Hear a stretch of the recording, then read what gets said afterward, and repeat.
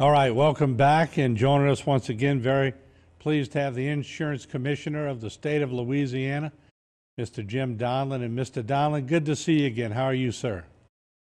I'm fine. Good to see you, Mr. Folse. Always a pleasure. All right, like, you know we've talked quite a bit, but I'm I'm continuing to hear a lot of people. I just came back from out in the field doing interviews on location, and it's still it's still a nightmare out there to hear some of the stories about insurance companies. It's not all of them. I don't want to put them all into the the same pot, but we're still hearing some some horror stories. Give me your assessment, if you could. Generally, what are you hearing uh, as the commissioner, and would you grade the whole industry? How would you grade them at this point? Well, at this point, and that's not an uncommon question, got it asked in the aftermath of Laura uh, over in the southwest corner of our state uh, a year ago. Uh, and my grade for this event, uh, Ida and and um, uh, its related challenges, would be a C minus at this point.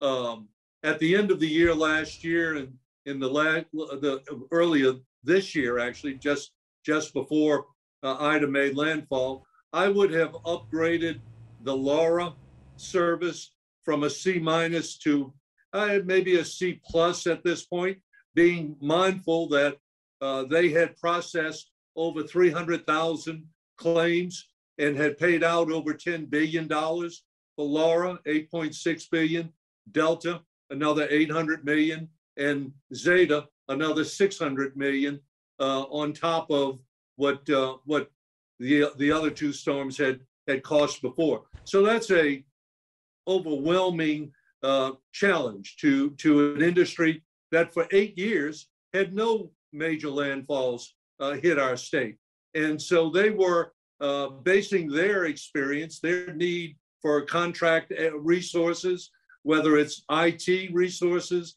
or claims adjusting resources, based on their overall history. Uh, for the aftermath of Ida, I have now licensed or registered almost 10,000 additional adjusters uh, to come to our state.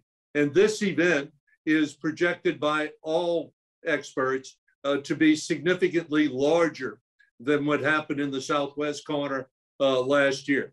Uh, those I mentioned uh, uh, losses total 10 billion. This is projected by the experts to end up costing insurers between 17 billion and as much as 40 billion dollars in insured losses. Having said that, no excuse for not complying with the requirements of the law to timely um, investigate the damage that their policyholder uh, has has suffered, and then to keep up communication with them, pro- delivering on promises uh, to give copies of the adjuster's report, returning phone calls, and making payments in a timely fashion to claim a proof of claims that exhibit and demonstrate unequivocally a uh, amount of loss that no one can deny uh, as a minimum is uh, due and owing. A partial payment is allowed and a supplemental claim to claim the rest of that damage uh, value is, is available to uh, consumers. And last thing, Mr. Folse, let me add, if you get a check for a partial payment, cash it, spend it. Don't fear the fact that you may be giving up the rest of your rights to, to your, your reimbursement for your losses, because that is not the case. Unless you signed to settle potential litigation uh, with a release, you are entitled, this is called first party coverage. You're entitled to as many supplemental claims being paid as are necessary to compensate you for the entirety of your loss, including heretofore un, unknown damage of, of uh, the the um, uh, uh, sheetrock or or uh, uh, wall coverings in your home that were not obvious at the time of your adjuster's visit and inspection. Uh, the development of full of of um, mold behind those walls, uh, in and in between the external exterior wall and and the uh, the sheetrock on the inside. Uh, those things when discovered, or even new damage not heretofore known by, uh, by yourself, by the owner, uh, are entitled to compensation as well, and as many supplemental claims as are necessary in order to fully compensate you for your loss. Let me ask you this, because we have about 90 seconds left in the first segment. We'll come back for a second segment. You mentioned the word timely, and that's sort of what I'm hearing from people out there. They're thinking they had a certain amount of time to hear from people, but it seems like they're getting pushed off. What is timely to you, Mr. Donelon?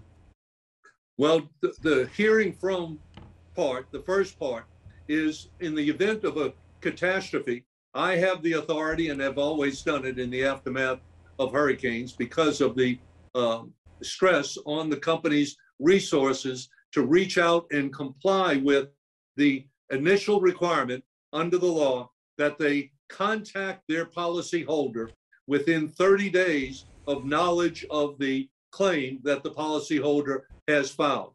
And that can be extended and has been extended uh, to 60 days. I don't think failure to comply with that requ- requirement is an issue. I think the initial contact has been complied with.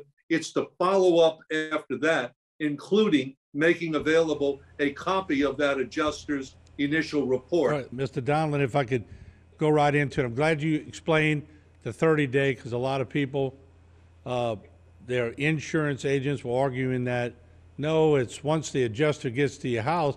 I thought I heard you say earlier, and I think I heard you say today, it's when you make that claim that the clock is ticking, right? Absolutely. Absolutely. 30, actually now 60 days from the time that you get a claim number by filing your claim, they have to make contact with you and initiate the adjustment process. That can mean, and, uh, and again, Martin, I'm hearing that, that that's not where the issue is. The issue is after that initial contact by the insurer with their policyholder, which is the minimum required by law, uh, is to make that contact. After that is where the communication is breaking down and folks are being frustrated by the process. Let me ask you this because it seems to me the insurance companies and everybody I've talked to, including myself, have several claim numbers. If if they let's pick a figure. Let's say they they tell Mr. Joe or Miss Jane, we've assessed your damage at fifty thousand. Your deductible's ten thousand dollars. Therefore, we owe you forty, but we're going to send you ten thousand dollars to start. Why don't they just send Jane or Joe forty thousand dollars because that's what they owe them? Well, and the answer to that is because that's what the law requires of them. And what they are trying to do by, by offering you at the outset, and it's called for in their policies, by the way, they are offering you actual cash value payment, not replacement cost value. So that if the roof they're replacing is uh, 15 years old, they depreciate the cost. It's going to cost you $15,000 to replace it but the the uh, other roof being 15 years old uh, was depreciated in value down to five thousand dollars. They're going to give you the five thousand and give you the remainder, the other 10, the last 10, when you have completed the repair.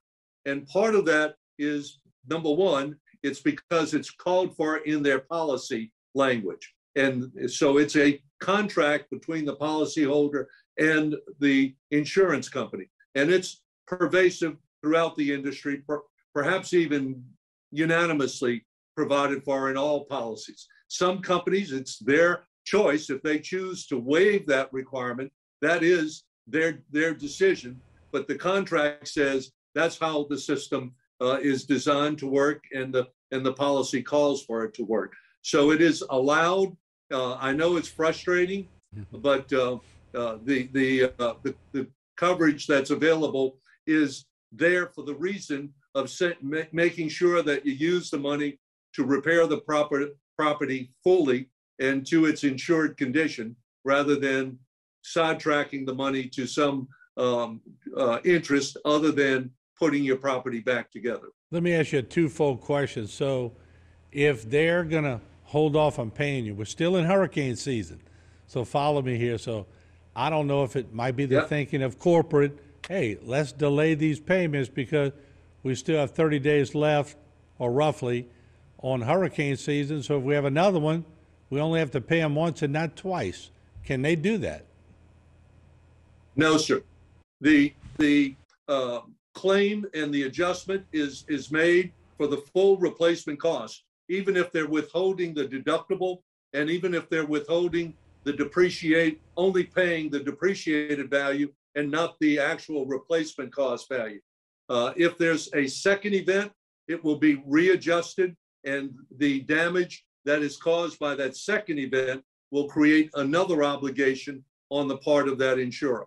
And keep in mind that we have a statute on the books applicable to all admitted companies, property insurance companies, which is about 90% of our market, that they can only apply one named storm or hurricane deductible per calendar year. So that Ida event will have exhausted almost all or all of the hurricane deductible if we have another event this year. But I do want to add that we have actually till the end of November.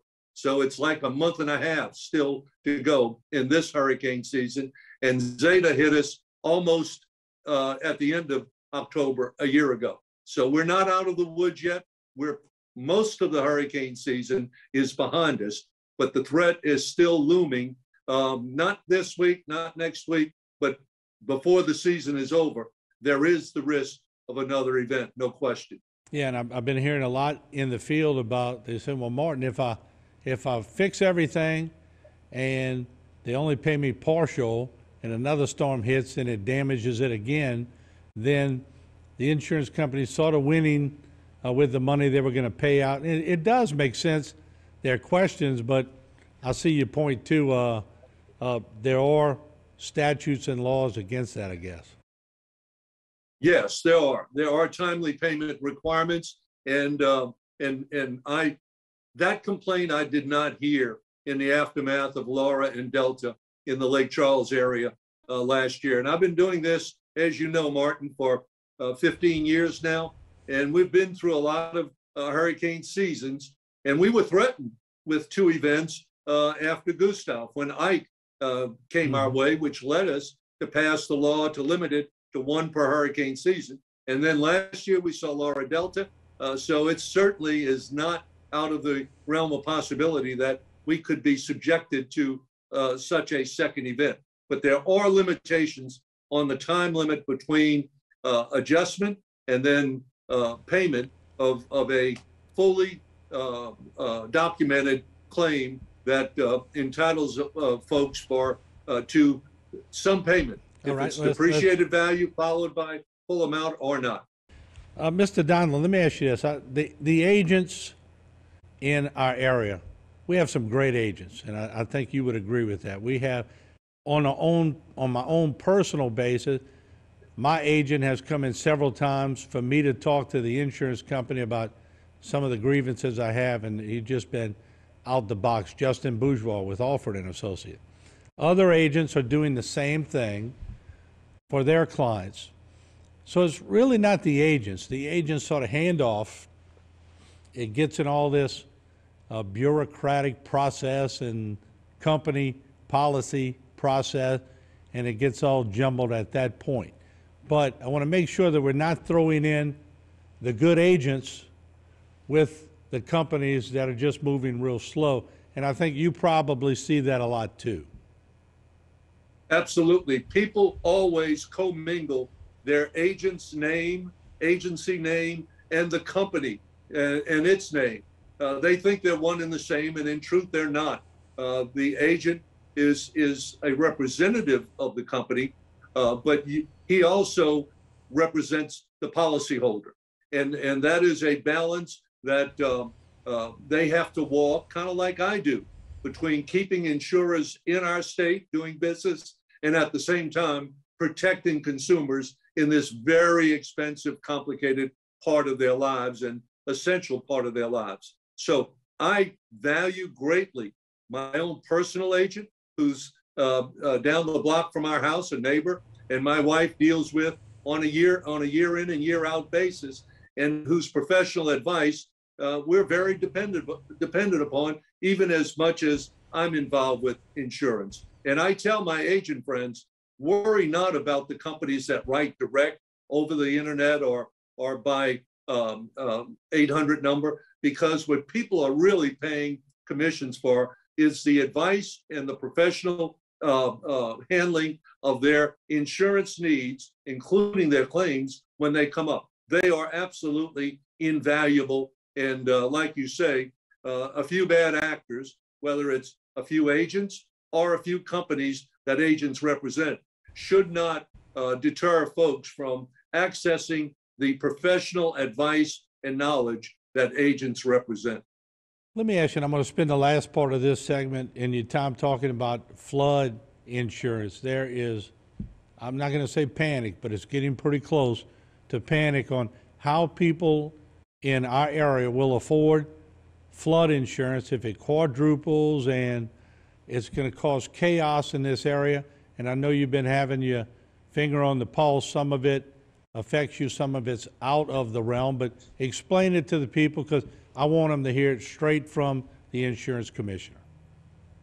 Thank you, Martin. And after Betsy hit New Orleans and St. Bernard Parish in the late 60s, the insurance companies said almost universally, no more flood coverage. We're going to exclude that from our property insurance policies. And they did it all over America, not just in Louisiana, so that the federal government created under FEMA a flood program, National Flood Insurance Program.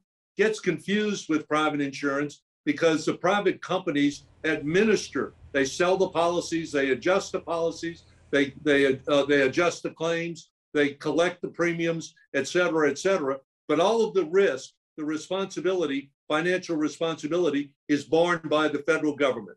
And this risk rating 2.0 is a new way of pricing the coverage for flood insurance policies. And truthfully, it is a threat to tens of thousands of property owners in our state in that it could render, and in fact, I would expect it would, render tens of thousands of properties not uh, worthless overnight because of the extreme increases in the cost of flood insurance as mandated by this change in FEMA in how they're going to price those policies going forward. We are working with our congress- congressional delegation, which is unanimous in opposition to that adoption of risk rating 2.0 as it uh, has been rolled out and presented. And frankly, it's already in effect for new policies as of October 1st. So it is a huge threat, in particular to that part of our state below I 10, I 12 to the Gulf of Mexico that are more prone and vulnerable uh, to flooding events, as we've seen over the past couple of decades. Uh, I'm very mindful of it. I'm working closely with our congressional delegation to push back on it. It's similar to what happened after the last long term extension, uh, which was first done by Biggert-Waters and then rolled back a couple of months later when the full implications of the cost increases were uh, realized by uh, the public officials in our state. Hopefully, we'll be able to push back on this 2.0 risk rating system, uh, similar to that pushback of Biggert-Waters uh, seven years ago. Mr. Donelon, we always appreciate you being with us, and uh, I'll come back in short order maybe next week and uh, give you a few more questions on the sentiments I'm hearing out there. But as always, thank you for your time, and we appreciate you. Thank you very much, Mr. Folse. I appreciate the opportunity to visit with your viewers, sir. All right, there you have it. Jim Donelon, who's the insurance commissioner for the state of Louisiana, and uh, the, he always uh, has the answers. Some some of the answers uh, are in the gray area because it is a gray area concern we have. I mean, it, it's it's fluid, but he's done a, a real good job over the years of being upfront and getting you that information, and that's why we rely on him so heavily uh, in times like this. We'll take a short break. We have a lot more here on Bayou Time. Stick around.